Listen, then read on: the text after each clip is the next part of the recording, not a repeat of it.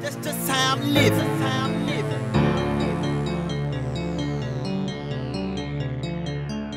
That's just how Hey y'all, this is Our Destiny. Right now I'm wearing my hair in a bun. I need to be washed. I ain't been washed in like two and a half weeks and I've been wearing this bun for about a week. So I'm gonna wash with Metro shampoo and conditioner. This is Therapie Anti-Aging Shampoo, then the Macadamia Oil Conditioner.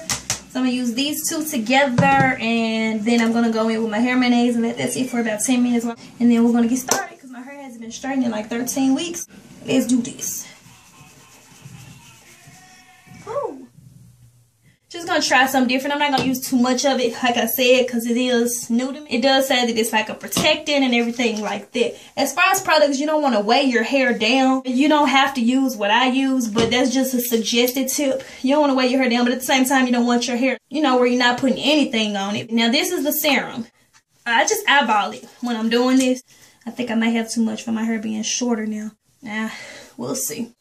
And I just work this in there all over. Don't just go on the front. Cause sometimes people like put products in, they only go around.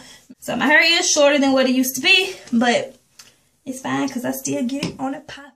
I just use my Red by Kiss Detangler blow dryer to take my time and blow dry my hair on the um, high setting. And I dry my hair in, like in sections, but I don't clip it in sections. I just blow dry a section until it's fully dry. And I take my time like I'm going slower than what it actually looks, believe it or not.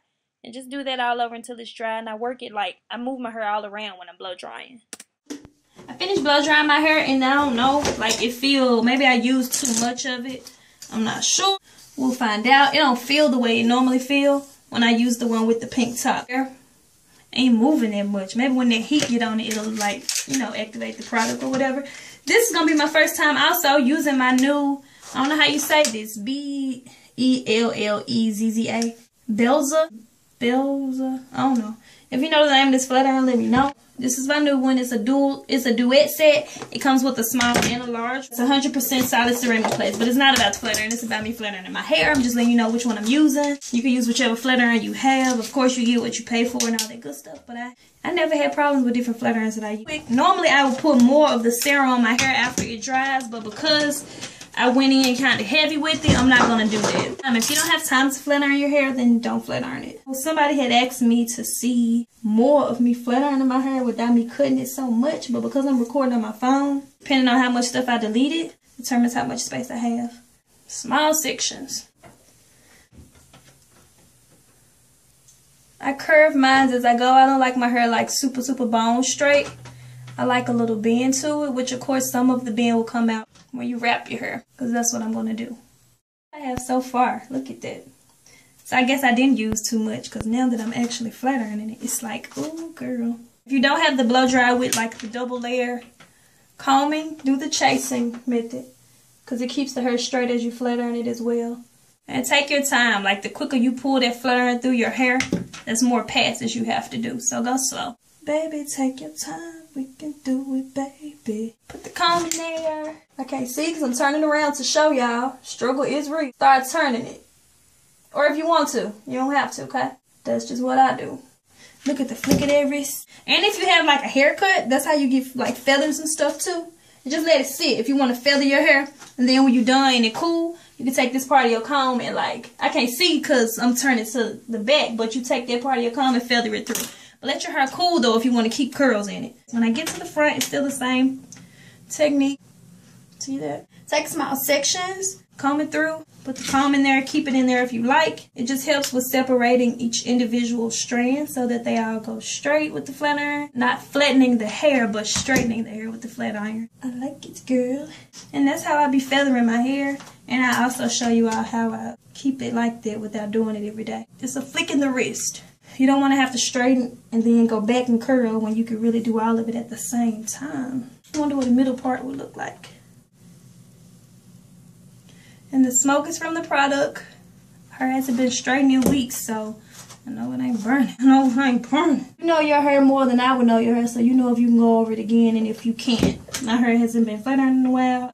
I just can go over it again because I just can. My hair looks like it's in a bob kind of style, huh? Let me find out. My hair want me to get a bob. Okay? Everybody's different. Everybody straightens their hair different. I feel like if I'm going to go ahead and straighten it, I want to go ahead and straighten it. Yeah, there's a lot of bounce, too. A lot of bounce, girl. far as everything else, I'm just letting it all dangle and I work with it at the end. Okay. I've never straightened my hair to just be straight because I don't like that look on me. If you want it to just be straight, then you would just pull your flat iron straight down without curling your wrist. Don't worry about the edges. We're going to get those. Trust me. That's like the key to your hairstyle. Like the belt to your outfit. The concealer to your eyebrows. it just ain't complete if it ain't on. I ain't done like an actual hair. I ain't gonna call it a tutorial because tutorial means how to do this. This is just how I do it, okay? Not a professional or anything like that. I'm trying to think of questions y'all might ask so I can tell y'all while y'all watching. If your hair is thicker, take even smaller sections to get it even straighter. If that's what you want to do. If you don't, then don't do that, okay? What I love about it, relaxer, you just reach all in there and just, oh God. Edges right here. Have a fresh relaxer they just really just gonna lay you know just lay like yes like ooh. Like if your hair is clean your brush needs to be clean. Just the edges. Grab your hair with your fingers. Just pull whatever you can grip and slide back like that. And the reason i'm going back is because it's making it lay. And just brush it like that. And as far as moving your part it's not defined but you know just move it like however you like. And you can do all that good stuff coming through your curls will stay as long as you, I forgot to use a little Lotta Body. If I would have used just like a few drops of Lotta Body on my, it'll help these curls to hold even more, but it's okay. It is all good. I'm just showing you all like how you can style this. This is the feathers or whatever. Um, my hair is not cut to feather. It's just short, so it do that. But you get the idea. That's how I straighten it. And I'm gonna show you all how you put rollers in this to keep it as well. Yes, girl. Yes. I had my straight in so long. Like, good God, like. You don't want to go to this side. Stay over here. Well, stay over there then. I mean, if you want to use your fingers, you can. Really, you're not getting this in the hair. You're getting it on the edges, okay? So you just take it in. Girl, yes. It's, it's not Creme of Nature. It's a little bit left in here, but this is really just some you know, jam in the black jar with the orange, the orange top. That's what this is. And it's like my to-go, throw this in my purse, you know. Any edge control, whichever you like.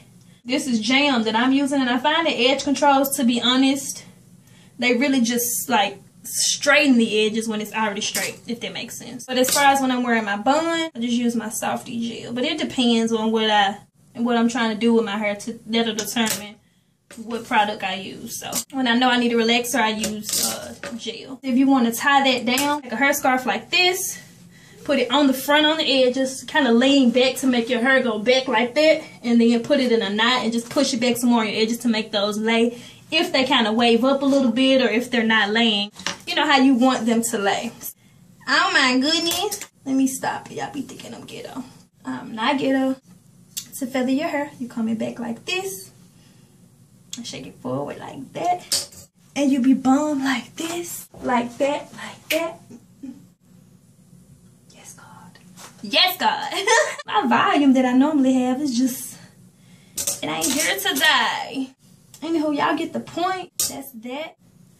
I like to shake it forward and bring it back. Bring it back.